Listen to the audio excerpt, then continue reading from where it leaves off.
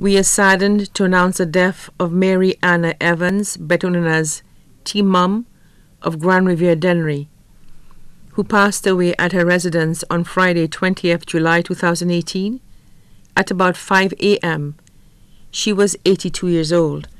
The funeral service for the late Mary Anna Evans, better known as T Mum, will be held at the St. Michael's Roman Catholic Church, La Ressource Dennery on Friday, August 3, 2018 at 2.30 p.m.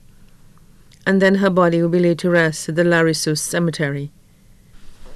The family would like to mourn in private after the funeral service. May her soul rest in peace. Her body now lies at Rambali's funeral parlor on Calvary Road, Castries.